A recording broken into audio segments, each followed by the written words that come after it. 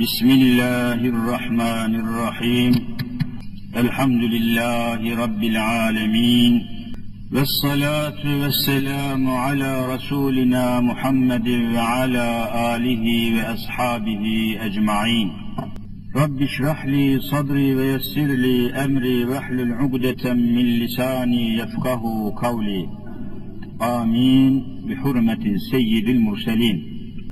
أما بعد فالأول الله والآخر الله والظاهر الله والباطن الله فمن كان في قلبه الله فمعينه في الدارين الله فمن كان في قلبه غير الله فخصمه في الدارين الله لا إله إلا الله هو الحق الملك المبين محمد رسول الله صادق الوعد الأمين قال الله تعالى في كتابه الحكيم استعيذ بالله.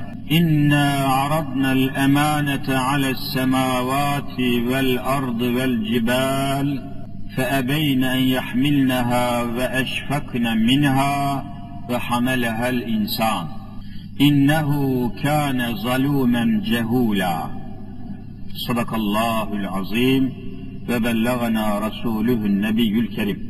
Muhterem Müslümanlar, geçen Cuma'dan tamamlayamadığımız ve mealini, manasını, muhtevasını, delaletini, ayetin tamamıyla ilgili manayı aktaramadan ezanı Muhammedi okunmuştu.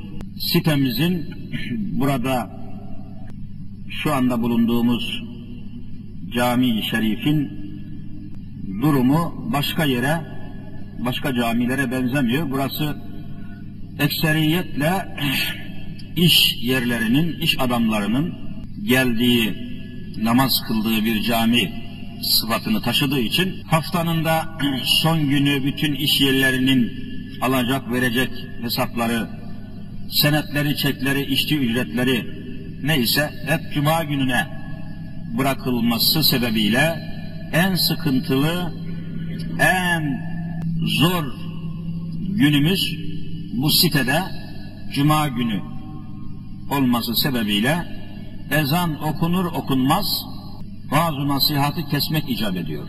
Hutbede de çok kısa hutbe okuyarak hutbeyi tamamlamak icap ediyor. Sıkıntılarımız var.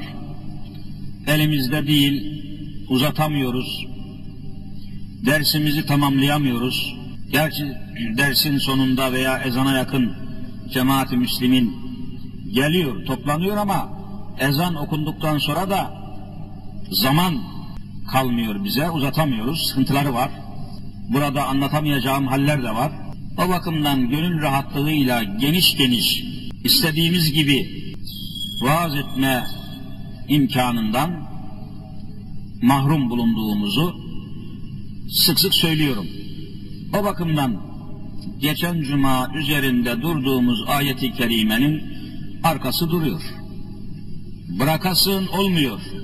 Devam edesin zaman zemin müsait değil. Oldukça zor şartlar altında Allahu Teala'nın verdiği imkanlar nispetinde cemaat-i müsliminin devamı nispetinde inşallah sohbetleri ala kaderil imkan yürütmeye devam edeceğiz. Hak Teala hangi şartlar altında olursa olsun bizi rızasından ve rahmetinden ayırmasın. Evet, inna aradnel emanete, emanet. Gördüğünüz gibi hemen ayeti ilahiyenin başında emanet kelimesi karşımıza çıkıyor. Emanet. Bu emanet ne olabilir? Allahu Teala'nın bundan kastı, maksadı ne olabilir? Müfessirin dediğimiz yani tefsir alimlerimiz enine boyuna meseleyi araştırmışlar. Emanet. Allah tarafından arz edilen nereye? Semavata. Semavat gökler. Hepimiz biliyoruz. Daha arza, arz dediğimiz bizim üzerinde yaşadığımız dünya. Kur'an-ı Kerim ona arz diyor. El ardu, arz. Daha vel cibal. Cibal, dağlar demek. Arapça cebel dağ, cibal dağlar. Allahu Teala'nın arz ettiği, takdim ettiği bu emanet göklere, sonra yeryüzüne, sonra yeryüzünün en büyük gözlere en büyük şekilde görünen dağlara arz edilen bir emanetten bahsediliyor. Bu emanetin ne olup olmadığı bütün tefsir kitaplarında var. Uzatmayacağım. Bütün rivayetleri de sayıp dökmeyeceğim. Zamanımız müsait değil. Ancak hemen ayetin kısa manasını bitirip genişliğine geçeyim. فَاَبَيْنَ en يَحْمِلْنَهَا Arz edilen bu emaneti gökler, yeryüzü ve dağlar emanetin arz edildiği gökler, yeryüzü ve dağlar febeyne çekindiler, yaklaşamadılar. En yahmilneha o emaneti hamletmeye, o emaneti taşımaya yaklaşamadılar, yanaşamadılar. Çekindiler. Biz bunun altından kalkamayız dediler. Arapça hamele yahmilu hamal buradan geliyor. Hamal taşıyan, hamleden. Onun için karnında çocuk taşıyan kadına ne derler siz söyleyin? Hamile. Bak yine hameleden geliyor. Hamile, hamal. En yahmilneha o emaneti taşımak hususunda çekindiler, sakındılar, yaklaşamadılar. Hatta ve eşfakne minha o emanet karşısında korkuya düştüler. Arapça işfak, korkmak, korkudan rengi sararmak. Onun için bir adam korktuğu zaman Türkçemizde ne diyoruz? Adamda şafak attı. Şafak attı diller. Fena korktu demektir o. Korkan adamın rengi açılır, sapsarı olur. Şafakta da ufuk ağarmıyor mu? Ona benzediği için korkuya hamledilmiş.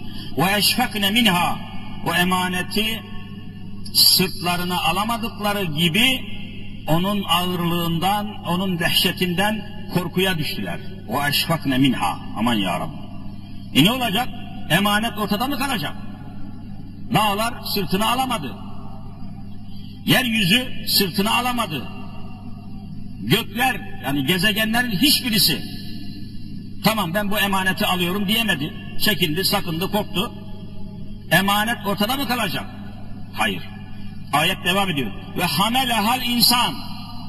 Hamele aldı, sırtına aldı. Ha o emaneti el insanu. İnsan o emaneti sırtına aldı. Müminler öyle ayetler var ki bir ömür düşünseniz altından kalkamazsınız. Düşünün bir emanet var. Göklere arz ediliyor. Alın şu emaneti deniyor. Cenab-ı Hak serbest bırakmış yani. Eğer Allah mecbur etseydi almaması mümkün müydü? Demek ihtiyari yani muhayyer al, almasına da almamasına da Cenab-ı Hak müsaade etmiş. Yoksa almasını mutlak irade ettiği zaman almam diyen olur mu? Allah'a böyle bir tepki göstermek mümkün değil. Demek müsaadesi var muhayyer ki almam alamam diyebilmiştir. Oralara girmeyelim. Aklınıza geldiği zaman şüphe kalmasın diye söylüyorum. Bütün gezegenler, gökler tek kelimeyle semavat o emaneti alamıyor. Yeryüzünün tamamı o emaneti alamıyor. Yeryüzünün en görkemli dağları o emaneti alamıyor, sakınıyor, çekiniyor, korkuyor, endişeye düşüyor ama ve hamelehal insan o emaneti insan alıyor. Bu emanet ne olabilir? Öyle bir emanetten bahsedilmesi lazım ki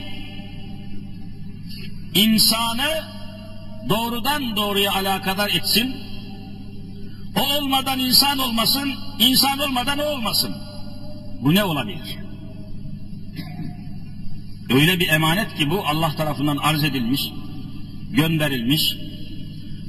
Öyle bir emanet ki o emanete sahip olunmadığı zaman insan dediğimiz varlık ziyan olacak. Felakete gidecek.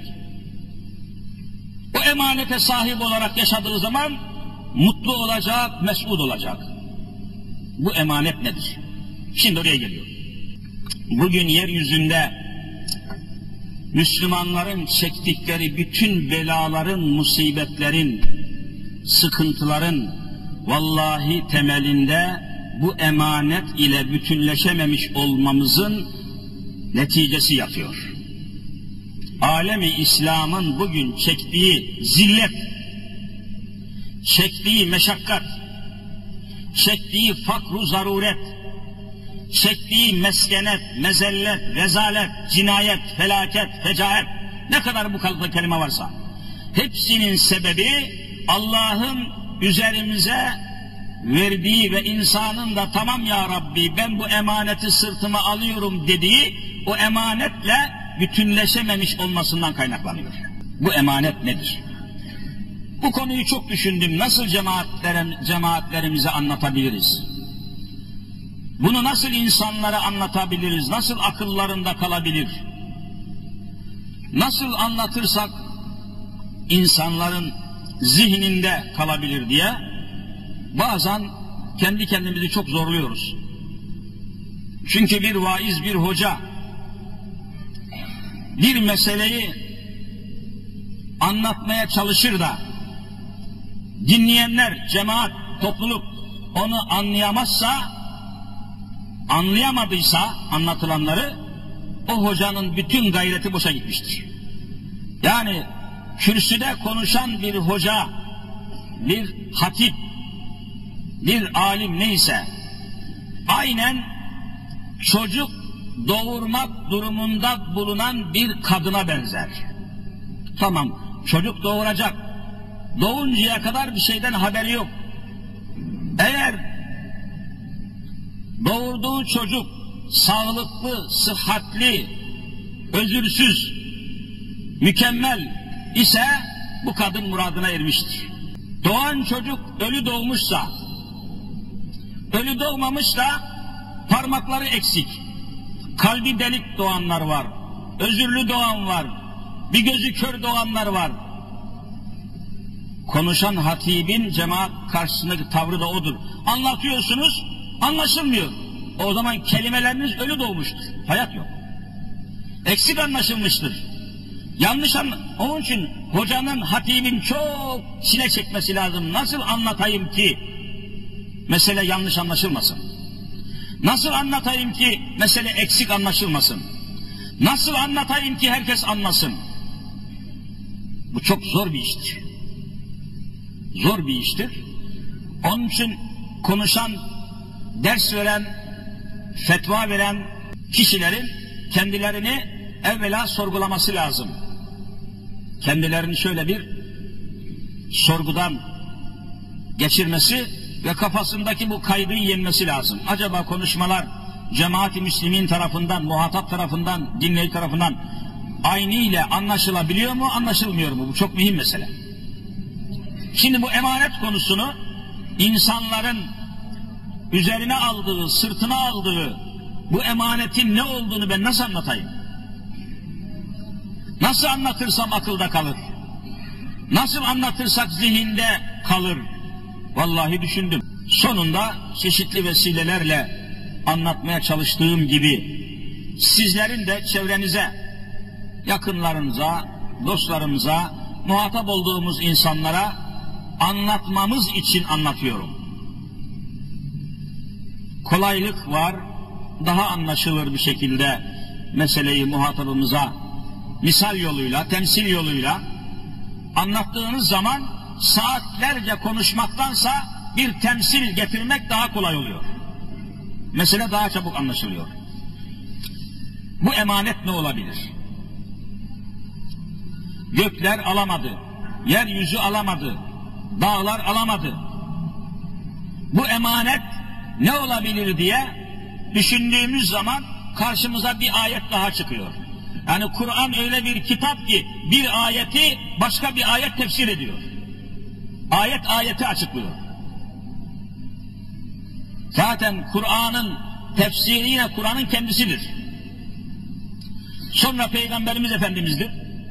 Sonra sahabe-i kiram efendilerimizdir. Sonra tabi'in-i kiram efendilerimizdir. Sonra alimlerdir. Alimler beşinci sırada. Önce onlara bakacağız.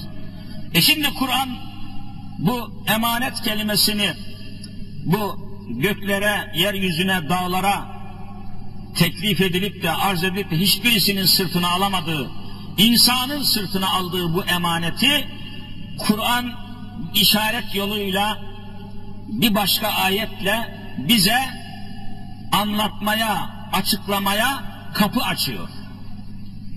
Ayet okuyorum. Estağfurullah. Lev enzelna hazel Kur'an ala cebelin.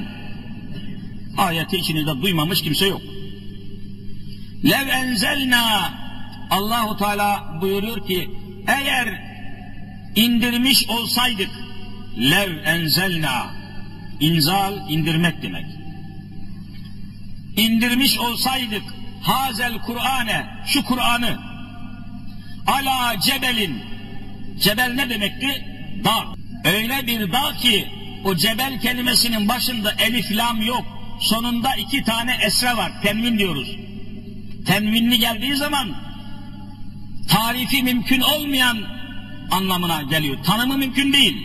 Yeryüzünün en yüksek, en kudretli, en korkunç dağların hangisi ise eğer Kur'an'ı o dağın üstüne indirseydik dikkat لَوْ اَنْزَلْنَا هَذَا الْقُرْآنَ عَلَى cebelin büyüklüğü tasavvur dahi edilemeyen bir dağın üzerine Kur'an'ı indirseydik لَرَأَيْتَهُ خَاشِعًا مُتَصَدِّعًا مِنْ خَشَّةِ اللّٰهِ O Kur'an'ın ağırlığı karşısında Allah korkusunun ağırlığı karşısında o da erimiş bir buz gibi erir, çekilir, ortada bir şey kalmazdı. Kur'an'ın ağırlığı, ağırlığının altında dağ tuz buz gibi erirdi diyorum. Haşihan, mütesaddian parçalanırdı. Parçalanırdı. Yani şimdi 30 tonluk bir pres, presin altına herhangi bir şeyi koyup da pres bastığı zaman ne olur? Mütesaddı Arapça parça parça demek. Bizim Türkçemizde tuz buz oldu derler. Tuz buz oldu. Darmadağın oldu. Eğer Kur'an'ı bir dağın üzerine indirseydik, dağ ona tahammül edemez, o dağ tuz buz gibi erir, dağılır, parçalanır, yerinde dağın kendisinde göremezdiniz. Ve subhanallah. Ve tilkel emsalu, emsal, misal demek, temsil. Ve tilkel emsalu, şu misali, şu temsili veriyoruz ki, ne olsun? Nadribu halin nasi, bu misali, bu temsili insanlara söylüyoruz, açıklıyoruz ki, leallehum yetefekkerun. Düşünsünler de bu emanetin ne olduğunu anlasınlar. Demek ki buradaki emanetten maksat neymiş siz söyleyin. Kur'an. Allah razı olsun. Sözlük. Kur'an çözdü bunu. Dağlar sırtına alamadı. İşte deminki ayette de alamayacağı ifade ediliyor. Gökler alamadı. Yeryüzü de alamadı. Yeryüzünün yaratılmasının sebebi olan insan bunu sırtına aldı. Alınan şey neymiş bu emanet? Kur'an-ı Hakim, Kur'an-ı Kerim, Kur'an-ı Mübin. Bütün mesele buradan başlıyor. Değerli Müslümanlar, şimdi ne önemi var diyeceksiniz. Bunun önemi ne ki bu emanet olmasa insan olmaz. İnsan olmasaydı zaten yeryüzü olmayacaktı. Düşünün, vallahi Kur'an'ın, sünnetin ifadesi, açıklaması ile sabit olan bir gerçek var ki, insan olmasaydı, yeryüzüne, güneşe, aya, yıldıza, hayata, maddeye, eşyaya kesinlikle var olma şansı yoktu. Bizim milletimiz, Müslüman cemaatimiz, Müslüman milletimiz 300 senedir Mevlid-i Şerif dinliyor. Mevlid kitabı yazılalı 300 sene olmuş. 300 senedir Mevlid dinleyen bir milletiz. Süleyman Çelebi rahmetullahi aleyhin mevlidi. Ama bu mevlid neyi anlatıyor diye sorsanız açıklaması karşısında cemaatimiz aciz kalıyor. Mevlidin ilk kelimesi Mevlid dediğimiz Süleyman Çelebi'nin Mevlidinin başında hepiniz hatırlayacaksınız aynen şöyle başlıyor. Daha başlarken böyle başlıyor. Hak Teala çün yarattığı Adem'i devam edin. Adem ile kıldı müzeyyen alemi. Eğer Mevlid'in manasını anlasaydık her şey tamamdı. Dinliyoruz ama güzel sesi varsa dinliyoruz, manasının farkında değiliz. Manası yok orta yerde. Hak Teala dedi Allah, Allahu Teala. O Hak Teala demiş. Şün yarattı Adem'i, Adem insan. Allahu Teala Adem'i yarattığı için, insanı yarattığı için Adem ile kıldı müzeyyen alemi. Alem de dünya. Bütün gezegenler, bütün dünya alem. Allah'tan başka her şeye biz ne diyoruz? Alem diyoruz. Allah'a alem denmez. Allah'a alem denmez. Ne denir? Rabbül alemin denir. Alemlerin Rabbi denir. Allah'tan başka her şey alem. E Süleyman Çelebi ne diyor? Hak Teala kün yarattı Adem'i, Adem ile kıldı müzeyyen alemi. Yani Allah Adem'i, insanı yaratmak istemeseydi alem diye bir şey yaratmayacaktı. Daha Mevlid'in başında bu. Gel de bizim cemaatimizin Mevlid dinlemesinin manasını sor. Neyi dinliyorsun kardeşim? Mevlid hangi mesajı, hangi manayı söylüyor? Anlamadan dinlemenin bir anlamı yok. Ama ne yapalım ki? Bu bir gerçek. Anlamadan dinliyoruz. İnsan ortaya çıkıyor. İnsan olmasa zaten alem olmayacak. Alameti yeryüzünün, eşyanın, maddenin, mevcutların, mahlukların sebebi, vücudu, yaratılış sebebi vallahi insandır. Bunu Kur'an daha baştan ifade ediyor. Amenna. E peki insan, bütün varlıklar insana bakıyor.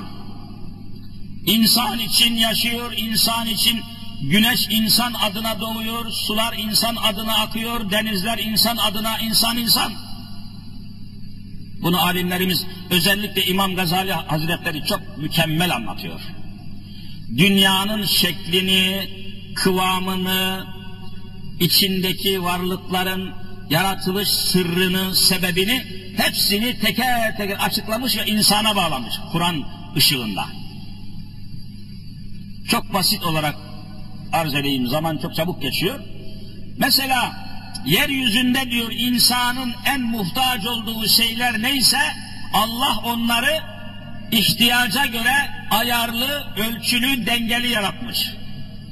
Mesela insanların havaya ihtiyacı var, hava. Hava olmadan yaşamak mümkün değil. En sağlıklı bir akciğerin sahibi, hiç hayatta sigara içmemiş, alkol kullanmamış, sapa sağlam bir ciğer sahibi, akciğer sahibi, çok çok, çok altı dakika havasızlığa dayanabiliyor. Altı dakika sonra ölüyor. Havadan daha önemli bir şey yok. Bundan dolayıdır ki diyor Gazali, Allahu Teala insanların çok ihtiyacından dolayıdır ki havayı sayısız ve sınırsız yarattı. Hava almak için kimse zahmete girmiyor, kimse külfete girmiyor, kimse ücret ödemiyor, kimse fiyat ödemiyor, kimseye külfet yüklenmemiş. Her yerde burnunun dibinde havayı Cenab-ı hazırlamış, sıkıntısız, vergisiz, herhangi bir külfet herhangi bir ücret ödemeden insanın en yakınına burnunun dibine getirmiş. Ondan sonra ikinci derecede en çok muhtaç olduğu insanın sudur diyor. Su. Dünyanın da siz söyleyin kaçta kaçını su yaratmış? Dörtte üçünü. Ondan sonra gıda maddelerine sıra geliyor. Dünyanın da dörtte birini kara. Yani gıda ekesin, biçesin diye sebze, meyve, toprak ürünleri, toprak mahsullerine ayırmış. Dünyadaki bütün yaratılış sistemi insana göre. Peki insan neye göre hareket edecek? Nehirler insana göre akıyor, insan için akıyor. Öyle diyor Gazali. Bakın diyor nehirler gürül gürül akıyor. Çaylar, dereler, akarsular, ırmaklar insanların bağına koşuyor, bahçesine koşuyor, tarlasına koşuyor. Adeta yangını söndürmek için koşan itfaiye gibi nehirler insan için, çaylar insan için, dereler insan için, sular insan için akıyor. İnsan olmasaydı su akmayacaktı. Fe subhanallah. Bu nehirler diyor, dereler, çaylar, ırmaklar aka, tuzsuz tabi temiz su, tuzsuz arı duru sular aka aka en son bir denize ulaşıyor. Dikkat ederseniz hemen hemen nehirlerin pek çoğu nereye gider ulaşır? Denize. Deryaya, denize dökülür. Denize dökülünceye kadar bütün bu nehirler diyor, bu ırmaklar tatlı su. Denizde bu nehirler denizde son bulurlar. Denizlerin suyunu Cenab-ı Hak ne yapmıştır siz söyleyin? Tuzlamıştır. Deniz tuzlu olur. Gazali diyor ki eğer Allah denizin suyunu tuzlamış olmasaydı, tuzlu olmasaydı, bu nehirlerin, bu çayların, derelerin, akarsuların getirdiği pislikler, çöplükler, leşler, ölüler, her türlü insanı rahatsız eden şeyler denize gelecek, denizde onların kokusundan, pisliğinden yeryüzünde insanın hayatı sıkıntıya girecekti. Denizleri tuzlamış ki o tuzun içinde leşler, ölüler hallolsun, insana zarar vermesin. Oraya kadar tuzlu olursa tuzsun. Bunlar insan adına, insan namına, insan hakkına, insan şerefine tanzim edilmiş bir sistemle karşı karşıya kalıyoruz. Peki insan neyin adına ve hangi ölçülerle hareket edecek? İşte emanet kelimesi geldi. Bir temsille, bir misalle Allah'ın bir darbı emsaliyle, bir misal vermesiyle bunun Kur'an olduğunu anladık. Şimdi Kur'an'la insan arasındaki bağlantıyı söyleyeyim. Zaman azalıyor. Zamanın azalması benim gırtlağım sıkılır gibi beni zorluyor. Anlatamıyoruz, mesele bitmiyor, mevzu bitmiyor. Az gerisi daha söylenmemiş oluyor. Adeta kendi kendimizi yiyoruz zaman azlığından dolayı. Hangi birini söyleyesin, hangi meseleye? sonu bankalar, hesaplar, ödemeler, bütün işçiler, memurlar hemen hemen haftanın sonunu bütün yoğunluğu cumada kaldıramıyoruz. Olan cumaya oluyor, olan vaize oluyor, olan camiye oluyor, olan Müslümana oluyor. Yapamıyoruz. Kur'an ile insan arasındaki bağ bağlantı çok mühim. Bunu anladığımız zaman çok meselelerin çözümüyle karşı karşıya kalacağız.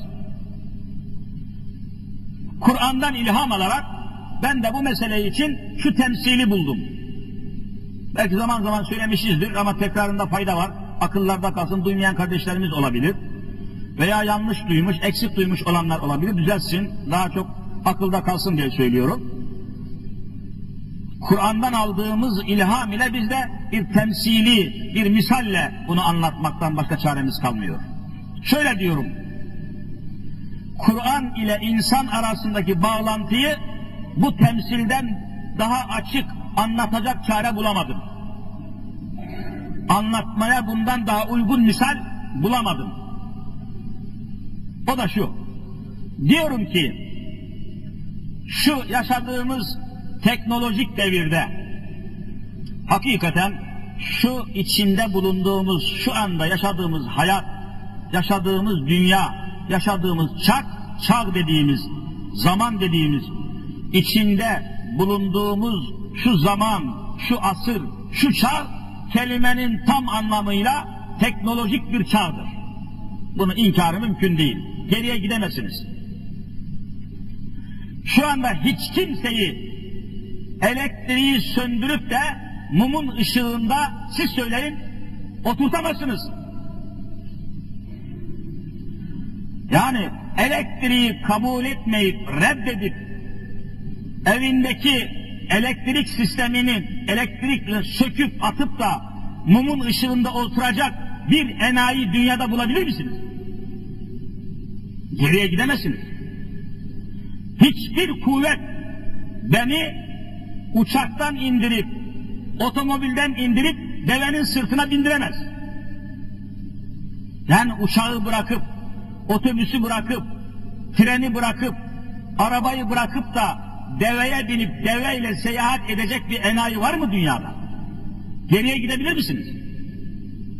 Çamaşır makinesini bırakıp da tekrar leğende kendi kadın, kız çamaşır yıkamaya oturtabilir misiniz? Soruyorum.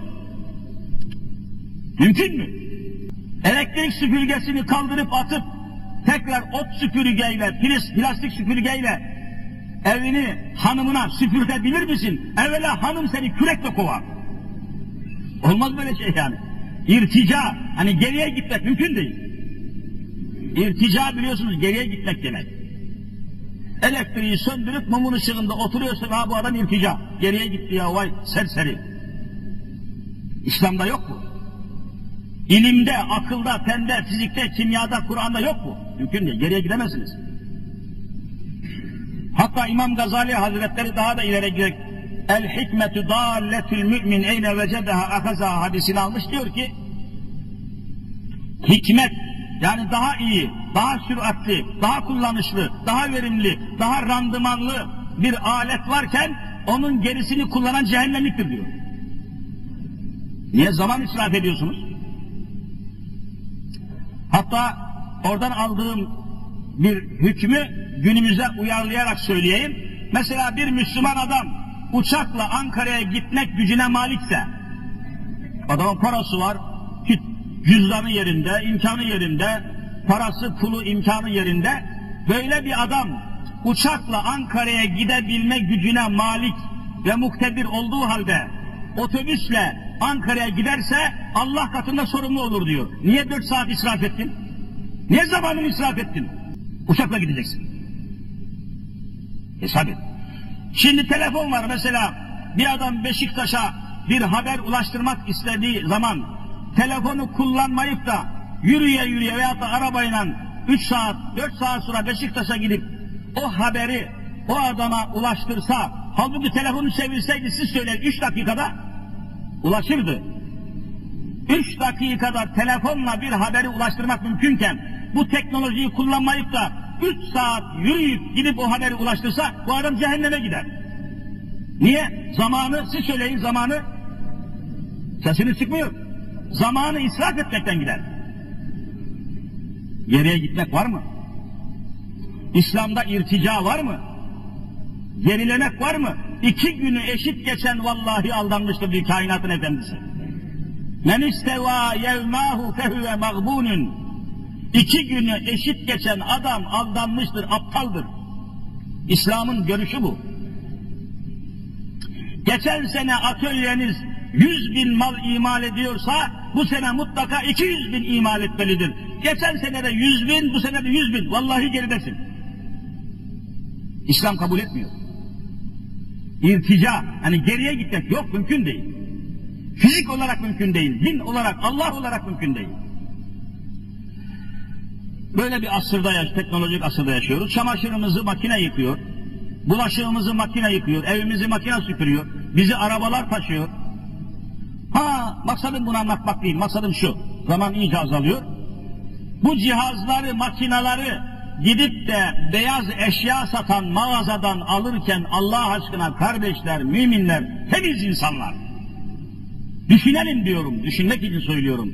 Bu cihazları satın alırken ambalajıyla kontrollü, bandrollü, tertemiz, denetimden geçmiş bu cihazları özel ambalajıyla evimize getirip açtığımız zaman ambalajı açar açmaz daha cihazı yerinden çıkartmadan en üstte cihazın makinenin üstünde küçük bir kitapla Allah aşkına karşılaşıyor musunuz karşılaşmıyor musunuz?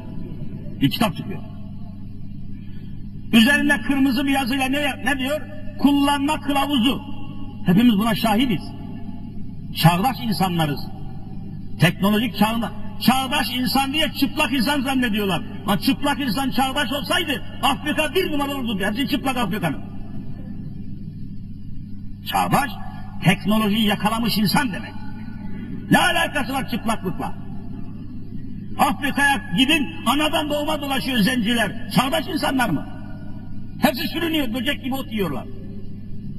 Ama bize çağdaşlık deyince açık kadın, kaçık kadın, sapık kadın, hoplayan zıplayan topçu, topçu bir takım suretler gösteriyor bu. Çağ, çağdaş adam demek fezaya giden, gezegenlere giden, işte Mars gezegenine robot gönderebiliyor musun?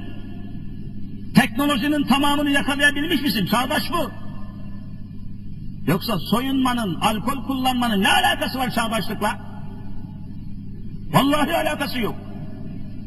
Aldatıyorlar bizi, yanıltıyorlar, şaşırtıyorlar gençlerimizi. Diskoteklerde, gece kulüplerinde, pavyonlarında bütün neslimizin enerjisini tüketiyorlar. Hani laboratuvarlarınız, hani fabrikalarınız, hani sanayi sistemleriniz, hani dünya pazarlarında eseriniz, hani Türkiye'nin dünya pazarlarında sergilediği bütün dünya pazarlarının dikkatini, alakasını çekeceği hangi mamulatınız var? Çağdaş olmak bu demektir. Yoksa soyunmak çok kolay. Eteğini biraz kısalttın mı, yukarıdan da biraz açtın mı, sıra çağdaş soytarı. Çağdaş soytarı. İnsan değil ki o. Düşünün yani, Cumhuriyet kurulalı şu kadar zaman geçmiş, hepiniz biliyorsunuz. Daha yüzde yüz yerli, milli bir otomobilimiz var mı yok mu soruyorum. Vallahi yok. Utanmaları lazım bu adamların. Yerli bir otomobil. Bak Malezya'nın var. 40 sene evvel bağımsızlığı dahi olmayan Kore'nin Kore'nin yüzde yüz yerli milli arabası var mı yok mu Kore'nin? Senin niye yok? Senin niye yok arkadaş? Yani her milletin bir milli arabası, otomobili, motoru var. Senin niye yok? Sen niye hala Fiat motorunu, sen niye hala Renault'u, sen niye hala yabancıyı, senin niye motorun yok? Bana bunun hesabını ver. Nesin sen dünyada? Bu makineleri alıyorsun, üstünden bir kullanma kılavuzu. Rica ediyorum. Bunu anlayamazsak hiçbir şey anlayamayız. Hatta o küçük kitabın altında da yine kırmızı bir yazıyla iki üç satır bir şey ne diyor? Bu kullanma kılavuzunu okumadan devam edin. Makineyi kullanmayın diyor. Kullanma kılavuzunu okumadan çalıştırmayın. E şimdi soruyorum siz değerli kardeşlerime. Hepiniz aklı başında değerli, duyarlı, imanlı insanlarsınız. Vallahi size fevkalade muhabbetimiz var, gönlümüz, ruhumuz, bağrımız hepinize açık. Ama bazı meseleleri çok iyi anlamamız lazım. Tereddütte kalmamak lazım. Şimdi soruyorum.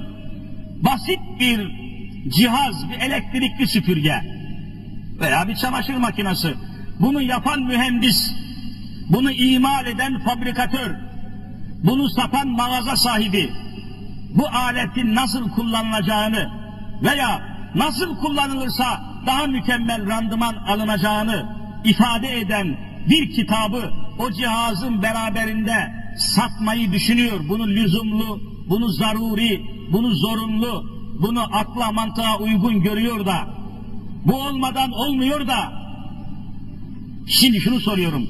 Allah gibi bir kudret, insan gibi mahlukatın en mükemmel, en şerefli, en değerli insanını dünya dediğimiz aleme, pazara gönderirken bu insan nasıl çalışırsa mutlu olacak? Bu insan nasıl hareket ederse huzur bulacak, barış içinde olacak? Bu insan nasıl hükümet kurarsa, devlet kurarsa, aile hayatı kurarsa, nasıl çalışırsa, nasıl yönetim, nasıl üretim, nasıl tüketim, nasıl denetim yaparsa mutlu olur, rahat olur, emin olur, çarpılmaz, çırpılmaz, canı, malı, ırzı nasıl güvenlikte olur? Bütün bunları açıklayan Allah tarafından prensipler, ayetler, hükümler, esaslar, haramlar, helallar ile doldurulmuş bir kitabı insanın arkasından Allahu Teala'nın da tıpkı elektrikli süpürgenin kitabı ve kılavuz kitabı gibi göndermiş olması gerekiyor mu, gerekmiyor mu? Bunu soruyorum size. Bir basit makine için bunu gönderiyorsun. Adam şunu alsın da rahat kullansın, aman patlamasın, yanmasın, yanlış kullanmasın. Burada nasıl yazıyorsa burada nasıl gösterilmişse, bu kılavuz kitap nasıl ifade ediyorsa öyle kullansın diye kitap olmadan hiçbir sanayi mamulü pazara sürülmüyor. Nasıl Allah insanı dünya pazarına kitapsız sürmüş olsun? Siz kabul ediyor musunuz Allah aşkına? Bir aspirinin bile bir bakkaldan aldı, bir marketten aldığın aspirin ya aspirin daha ötesi yok. Onun bile kutusunu açtığın zaman içinden o aspirinin değerini, manasını, içindeki maddelerin özünü, özetini yazan bir küçük, küçük bir kağıt, prospektüs, yani kılavuz bir kağıt çıkıyor mu çıkmıyor, aspirin içinden çıkıyor. Her şeyden çıkıyor. Kılavuz olmadan, kitap olmadan hayatta hiçbir şey olmuyor. Peki siz insan denen bu muazzam varlığı nasıl kılavuz kitap olmadan tasavvur ediyorsunuz? Bu insan nasıl çalışacak? Bakın şu Amerika'nın haline. Bakın şu Avrupa'nın haline. Avrupa'da olsun Amerika'da olsun 100 Avrupalının 100 Amerikalının 70'i uyuşturucuya müptela olmuş durumda. Bak tonlarla uyuşturucu gidiyor. Ve Türkiye Cumhuriyeti'ni Avrupa'ya taşınan eroinin bir köprüsü olarak kullanıyorlar. Öyle bir deyip duymuyor musunuz? Kıyamet kopuyor. Her gün narkotik şubenin baskın, baskın, baskın ihbar ama hiç önün alabiliyorlar mı? Avrupa gramına şu kadar milyon dolar ödüyor. Korkunç. Hiç akıllı adam uyuşturucu kullanır mı? Hiç akıllı adam eşcinsel olur mu? Hiç akıllı adam bu kadar sapık olur mu? Demek akıl yetmiyor. Avrupa'da akıl çok yüksek diyorsunuz. Amerika'da akıl uzaylarda dolaşıyor ama yeryüzünde uyuşturucu kullanıyor. Ne, ne eksiği var bunların? Bunların eksikleri bir kılavuz kitap, bir de kılavuz bir peygamberden mahrum olmalarında yatıyor mu yatmıyor mu? Siz söyleyin. İşte demin dediğim gibi yani tam manasıyla konumuzu, mevzumuzu tamamlayamadan vallahi ezan okunuyor. Elimiz, kolumuz, ağzımız bağlı kalıyor. Tadı, tadını hiç alamadan bırakıyoruz. Cenab-ı Hak cemaatimize şu cumanın meşakkatinden kurtulmayı Rabbim nasip etsin.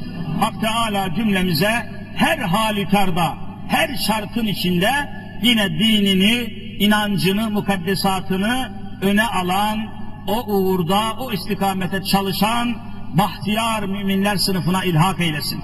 Değerli kardeşlerimiz, Allahu Teala çeşitli vesilelerle rahatsız olan, hasta olan, ameliyatı bekleyen birçok kardeşlerimiz var. Allahu Teala en yakın zamanda onlara şifalar ihsan eylesin. Kanser gibi daha buna benzer çaresiz hastalıklarla şu anda inim inim inleyen kardeşlerimiz var. Allahu Teala